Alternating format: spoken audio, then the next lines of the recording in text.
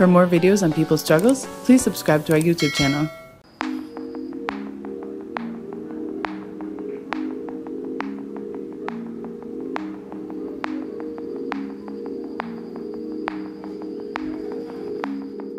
Eh, bueno, mi nombre es Berta Zúñiga Cáceres, soy coordinadora de COPIN,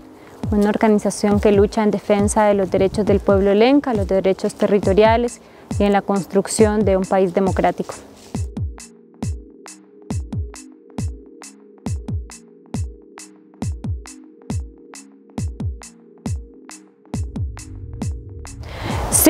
Eh, bueno, yo pienso que pues esta victoria electoral de Xiomara Castro como presidenta de Honduras pues es algo bastante significativo, importante para el pueblo hondureño. Eh, bueno, por cosas simbólicas y por cosas eh, estratégicas y políticas. En las cosas simbólicas, pues que un país tan machista como Honduras tenga por primera vez en su historia y a pocos años de realmente la participación electoral de las mujeres, pues una mujer como presidenta es un logro eh, bastante importante. El otro porque no es cualquier mujer, sino que es una mujer que se ha comprometido con las demandas y las luchas y los procesos y las reivindicaciones eh, de eh, feministas, digamos, desde muchos sectores feministas. Y eso eh, pues es importante en un país que ha venido agrediendo, vilipendiando y ultrajando primordialmente entre todos los males que puede tener Honduras actualmente,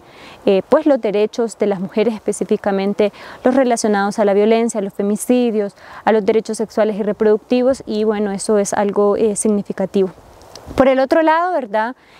pues ella, digamos, cierra el ciclo del de, el posgolpismo, que son 12 años desde el golpe de Estado en los que el Partido Nacional, que es el partido que eh, pues reivindica estas posiciones más conservadoras, eh, pues ha mantenido el poder y que eso ha significado eh, el retraso de los proyectos políticos y populares que desde los movimientos sociales en Honduras se venían planteando justamente antes del 2000, del, de junio del 2009.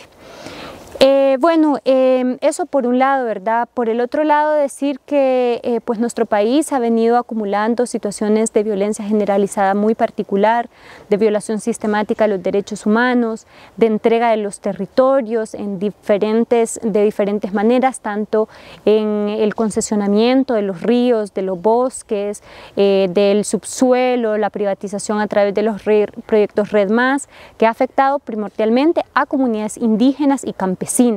eh, las comunidades garífunas, las comunidades del pueblo lenca, bueno, todas las comunidades eh, indígenas hemos venido eh, sufriendo de la implantación de un modelo extractivo que muy agresivo, violento, que ha significado también la militarización del territorio, la violencia generalizada y en los que han habido pues mucha persecución judicial, el, uso selectivo de la justicia y la justicia construida para perseguir a las personas más empobrecidas y de también eh, exculpar y mantener en la impunidad a las estructuras de poder que ganan que han ganado con el golpe de Estado, que ganan con la explotación de los recursos, que ganan con, este, eh, con esta lógica de violencia que vive nuestro país. Entonces, ¿qué tenemos? Un país eh, pues despedazado, muy destruido, y bueno, esos, todos esos males acumulados sumados a la crisis económica profundizada por la pandemia a nivel mundial, pero también por el tema de corrupción da como resultado, ¿verdad? Pues un malestar social muy grande, las caravanas migrantes que son expresión de, ese, de, esa crisis eh, social, económica, política y que, eh, bueno, este, pues en ese sentido el pueblo de Honduras eh, iba en base a la experiencia del año 2017 con el fraude electoral, pues participa de este proceso. Yo creo que ya no tan ingenuamente como en el 2017, participa bastante claro de que puede ser que este gobierno no signifique eh, la transformación ideal de, y reivindicación de los derechos, pero que es un respiro a toda la situación de violencia eh, y eh, de saqueo que viene viviendo Honduras y en las que ha sido muy afectada la población y todos los derechos eh, fundamentales como el acceso al agua, la salud, a la educación, a una vivienda y demás. Entonces, eh, bueno, em, nosotras tenemos eh, también esperanza de que eh, Xiomara ha posicionado un discurso pues, más apegado a los intereses populares que sabemos que vamos a tener que luchar las organizaciones, los movimientos y las personas. Y si perdemos la claridad de que somos nosotros, las organizaciones, las personas que hemos sufrido estos malestares, que tenemos que comenzar o retomar los diálogos refundacionales, los, diálogos por la transformación estructural de Honduras, pues no va a haber ningún cambio sustancial o significativo.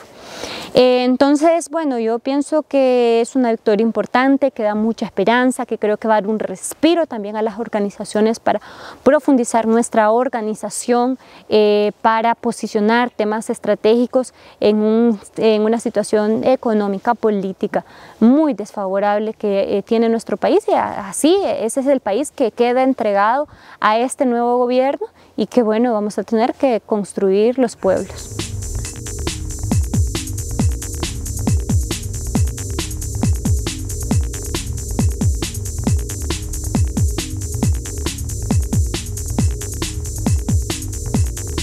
Eh, bueno, eh, yo creo que hay un debate en Honduras instalado, ¿verdad? Que es qué es lo que prima o qué, es el centro eh, también del desarrollo de la vida política y social de Honduras. Si es la ganancia económica de pequeños grupos que se han beneficiado de todas estas políticas postgolpistas o si es eh, el derecho a la vida, la democracia, la justicia social. Eh, bueno, respecto a estos 30 puntos que han sido presentados para los primeros 100 días de gobierno, eh, yo creo que hay dos elementos que son importantes para organizaciones como el COPIN, por ejemplo. Una, ¿verdad?, tiene que ver con el tema de el que no se van a dar más concesiones eh, de a los ríos, concesiones eh, eh, para minas a cielo abierto y que se van incluso, ¿verdad?,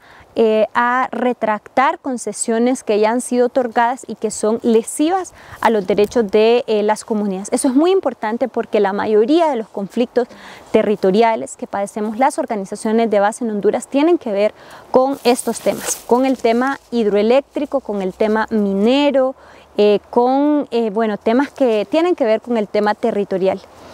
Entonces, em, eso ¿verdad? es muy importante. Eh, porque estos son pues los conflictos instalados que hay en Honduras y eh, bueno las grandes batallas que también vamos a tener que dar. Por el otro lado, verdad está el punto de eh, la justicia social y de la justicia a los mártires, a las mártires,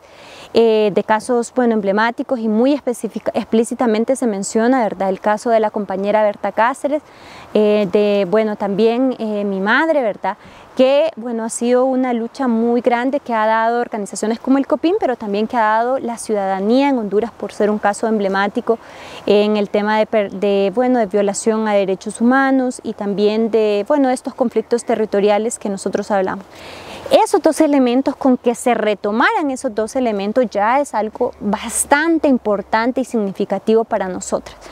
Eh, bueno, después hay muchos puntos, ¿verdad? Muchos otros puntos que tratan de recuperar las instituciones del Estado, de quitar el tema de la privatización de algunas de estas instituciones y también de, eh, pues, de, yo creo que volver de derechos a la ciudadanía y eso es muy importante. Entonces, eh, bueno, yo creo que tenemos mucha expectativa de lo que puedan ser estos puntos, de que se logren cumplir, y eh, bueno, también está mm, planteado eh, una de las cosas más grandes e importantes que es el tema de la Asamblea Nacional Constituyente, que es eh, algo que venimos demandando los pueblos desde hace tiempo para que se dé un marco jurídico eh, pues eh, favorable al, reconocimiento y la reivindicación de los derechos de los pueblos indígenas, de las mujeres, por la desmilitarización de nuestro país, por la reivindicación de los derechos sexuales y reproductivos, por el tema del, reconocimiento de los derechos a las comunidades LGBTI. Bueno, yo creo que varias propuestas que vienen desde hace muchos años planteándose, eh, que integran las demandas de, sociales pues más progresistas y que, bueno, las que nosotras tenemos expectativa y por otro lado derogar las leyes eh, que se han construido durante estos 12 años que son pues eso, perjudiciales a los intereses populares y que han beneficiado a estos pequeños grupos económicos.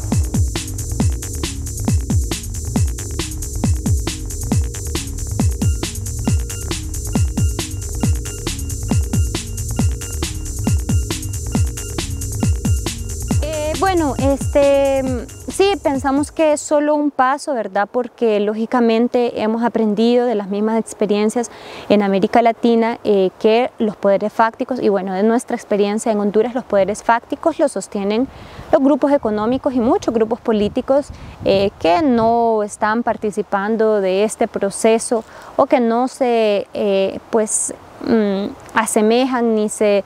eh, se entienden, ¿verdad?, parte de eh, esta nueva idea de gobierno. Entonces, eh, bueno, en, ese sentido, ¿verdad? la democracia siempre pasa por la, materialización de la consigna de la construcción y del poder popular. Eso, ¿verdad? Necesitamos eh, la amplia participación, debate, instalación de ideas, de trabajo organizativo, de articulación de las luchas en Honduras y fuera de Honduras, porque yo creo que eso ha sido clave para que en Honduras tengamos esta situación que se ha generado. Eh, es muy importante. Bueno, vamos a necesitar eh, construir el tema de la independencia de poderes y lucharla, ¿verdad? Porque ahorita Hemos hecho elecciones generales, se ha configurado el poder legislativo, el poder eh, judicial, eh, perdón, el poder ejecutivo y legislativo. El poder judicial tiene una etapa independiente y diferente que también es muy importante y donde eh, hemos visto manifiesta pues esa concentración de poder que tanto daño le ha hecho a nuestro país y que ha dado estos matices autoritarios, militaristas, eh, pues parecido ¿verdad? a esos a, al a los componentes dictatoriales de otras épocas eh, de la historia de América Latina. Entonces decir que eso verdad tiene que ser eh, un país que refleje las necesidades de las mayorías, los derechos de las mujeres. Son cosas fundamentales, ¿verdad? Si esas cosas no están puestas sobre la mesa y son propiciadas desde las organizaciones sociales, no va a haber democracia. Eh, sí, yo creo que por un lado nos sentimos aliviadas de no tener que soportar cuatro años más de, del oficialismo, de las lógicas de entrega al territorio, como por ejemplo de las sedes, que, que eso ha generado mucho malestar social,